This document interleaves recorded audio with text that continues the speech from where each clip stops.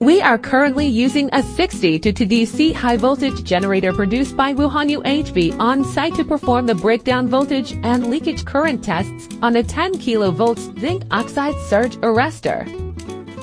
Let's take a look at the wiring. On the main unit, there is an intermediate frequency output. A signal line is connected to the bottom of the voltage divider.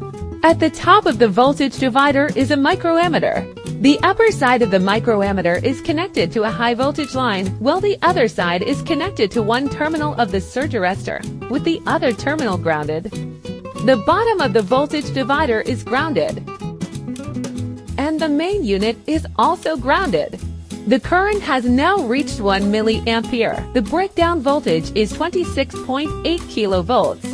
Let's check its leakage current. After clicking, it reads 27 amperes, which complies with the standard and meets the requirements. The test results are quite satisfactory.